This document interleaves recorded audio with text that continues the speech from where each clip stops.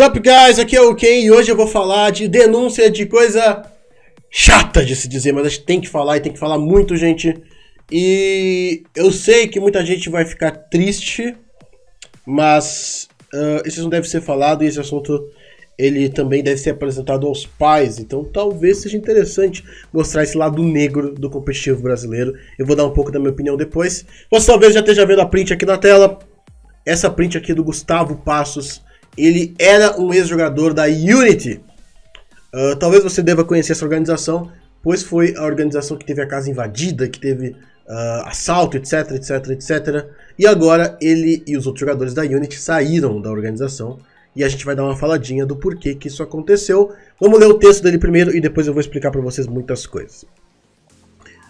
O Gustavo Passos disse: Olá, somos ex-jogadores da organização Unity Telecom Esports Gostaria de expor algumas coisas para que nenhuma organização cometa o mesmo erro.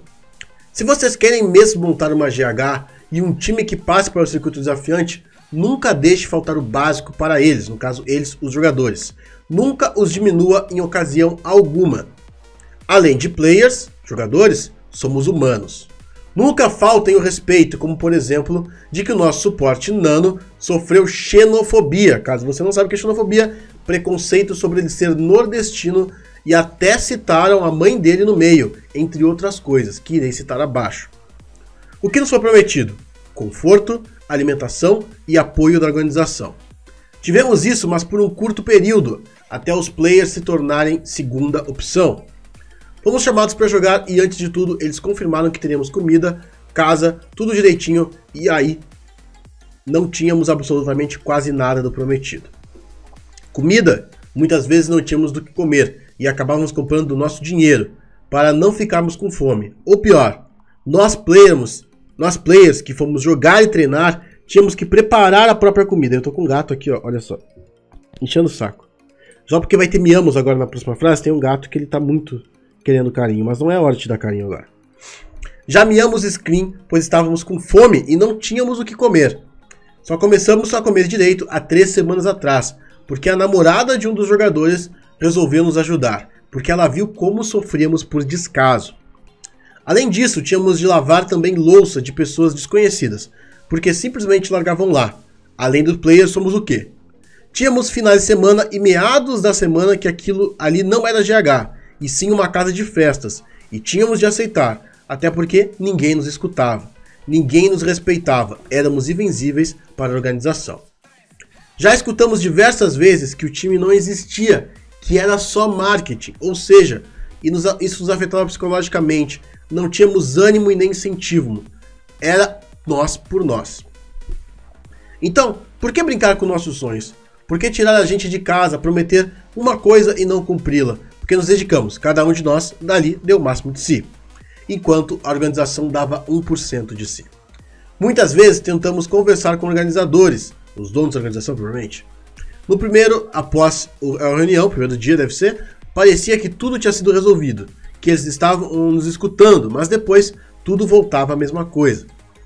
Precisamos mesmo aceitar isso tudo quietos e deixar que outras pessoas passem pelo que passamos? Não! Estamos expondo isso tudo aqui porque ninguém merece passar pelo que passamos e creio também que serve para outras organizações não cometerem o mesmo erro. Em primeiro lugar, aqui vai direcionado ao Gustavo Passos e a galera ex da Unity, né, os jogadores da Unity. Parabéns pela coragem de fazer esse texto. Muita gente não entende o quão pode ser ruim para um jogador falar dos problemas que tem na organização que ele passou. Eu mesmo passei por algumas organizações e poderia ficar citando os erros que teve, só que em alguns casos não vale a pena, porque, por exemplo, a CNB teve defeitos, como toda organização vai ter defeitos. Mas eu não acho legal citar os defeitos da organização, porque ela me deu muito mais coisas boas do que ruins. Eu poderia citar, por exemplo, a Keep Game, que eu passei, que até hoje eu não recebi um centavo do que eu tinha que receber do que eu joguei lá, do que eu treinei lá, né, como coach. Os jogadores, pelo que eu sei, também não receberam nada. A organização ficou com todo o dinheiro para eles. Sendo que tem um contrato com a Riot que o dinheiro tinha que ser passado. Só que o contrato não foi cumprido, já foi denunciado para a Riot e nada aconteceu. Pelo que eu sei, a mesma coisa aconteceu com a Brave, nada aconteceu. A Brave não pagou, tá pagando aos poucos, zero. Eu acho isso um completo descaso da Riot. E eu falo isso da minha opinião. Minha opinião. Uh, não posso falar Daí talvez possa chegar alguém que trabalha na Riot e diz, não, mas está sendo investigado. Cara, desculpa, isso é uma coisa que tem que ser feito muito mais rápido. É contrato, se for o caso, processo e faz acontecer. No momento que, aqui no caso, deixa eu deixar claro, a Unity ela não está no circuito desafiante, ela não está no CBLOL, então ela não tem nenhum vínculo oficial com a Riot. Então é o contrato dos jogadores com a equipe. A gente já vai chegar nesse caso. Mas em caso de circuito desafiante e CBLOL, a Riot tem que ser extremamente rígida, porque é ali que começa a profissionalizar a coisa. E se esse tipo de coisa acontece, complica demais para qualquer time. Eu devo explicar uma coisa, porque eu tenho certeza que vai vir esses comentários. Jogador de League of Legends, ele é um atleta. Ele é totalmente focado em treinar e dar o seu melhor desempenho. Então não é trabalho do jogador fazer comida, não é trabalho do jogador limpar a casa, não é trabalho do jogador uh, lavar a louça.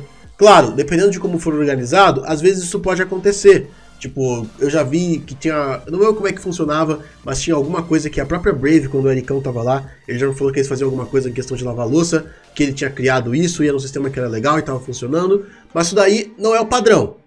Tipo, muitas equipes, muitas organizações, na própria CNB que eu passei, os jogadores só lavavam a louça na folga porque era folga. Então, tipo, não era contratado ninguém para fazer nada. É a tua folga, tu faz o que tu quiser e a organização não é responsável por ti. Mas de segunda a sábado, no, daí contando, né, quando tava fora do CBLOL, todo mundo era, era, não tinha que fazer almoço, uh, ou a própria organização pagava para ter um almoço, ou então ia ter comida ali, e na janta também tinha coisa para comer que era feita para os jogadores comerem e eles não precisavam lavar louça. Por que, que isso é importante? Ah, porque o jogador é mal dono doquinha, ele não pode fazer nada? Não. Ele tá ali para treinar, ele tá ali para dar o máximo dele dentro do jogo. Essa denúncia que o Gustavo Passos fez sobre a Unity, ela não é única, tá, gente? Eu diria que muitos times do Tier 3 sofrem desse mal. Ou não tem GH, o que é tudo bem, tipo, eu entendo que não tenha GH, mas quando tem GH a situação é extremamente precária. Alguns times do Tier 2 sofrem desse mesmo mal. Agora eu acho que cada vez está profissionalizando mais e isso está acabando, mas antes tinha muito. Eu me lembro muito bem do caso que aconteceu quando foi com a equipe da Estúdio XP, que era a equipe do Espion, que passou por problemas parecidos. Entre outras equipes. Até no CBLOL, no começo do CBLOL, eu ouvi histórias desse tipo. Então, claro que isso é evolução. Quanto mais vai passando, mais vai personalizando, isso menos acontece. Mas é importante que esse tipo de coisa seja denunciada, que esse tipo de coisa acabe. E é importante que a gente fale quando isso acontece. Nesse caso aqui, eu acho que é importante a gente ver como tem muita denúncia grave. Os jogadores tendo que pagar a própria comida todos os dias, ou seja, tu recebe um salário e tu ainda tem que pagar, sendo que foi combinado que a comida ia estar tá lá. Os jogadores tendo que treinar com festas rolando dentro da casa, entre outras coisas. Então não estava dando, sendo dado o que eles precisavam. Eu não sei como é que estava o contrato dos jogadores. Por favor, se você está querendo entrar no competitivo, sempre preste atenção nos contratos, porque os contratos eles podem ser muito feitos só para o lado da equipe e não para o lado do próprio jogador. Então, cuidado com isso, cuidado.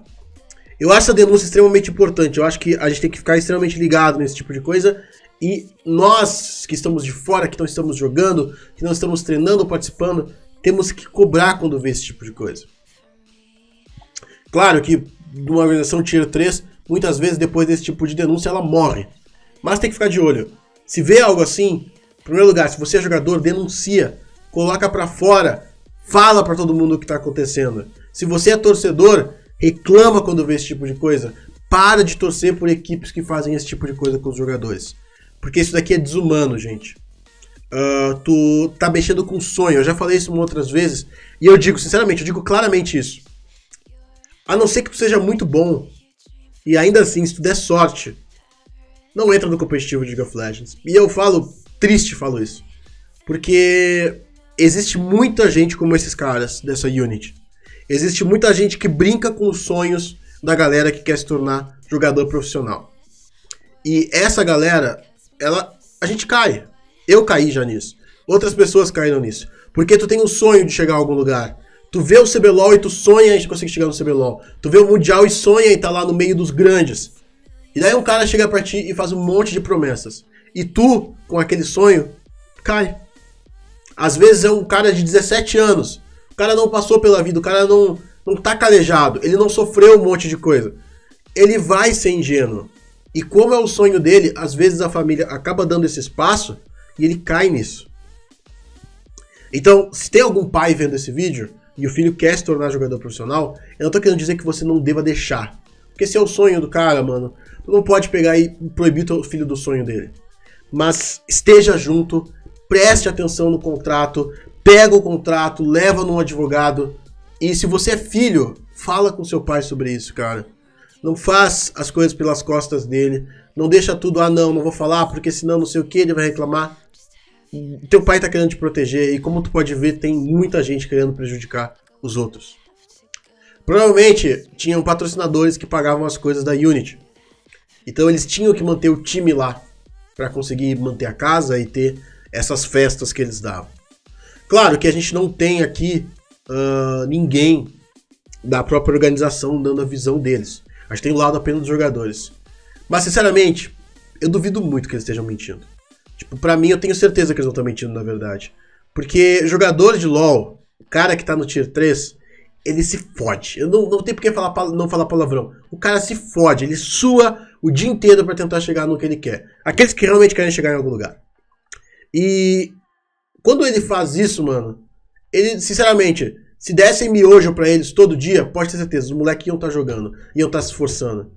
Se a cama deles fosse horrível, eles iam estar tá se esforçando do mesmo jeito. Mas quando chega num nível onde é terrível, onde não tem nada do que eles deveriam ter, complica a situação. Bom, gente, esse é o vídeo. Eu acho importante a gente falar sobre esse tipo de assunto. É o tipo de denúncia que acontece e que tem que ser passada. Mais uma vez, parabéns aí para os jogadores ex-Unity e eu espero que vocês consigam chegar aí, encontrar uma equipe boa e possa mostrar todo o potencial de vocês. Beleza, galera? Um abraço, espero que você tenha gostado do vídeo e até a próxima. Falou!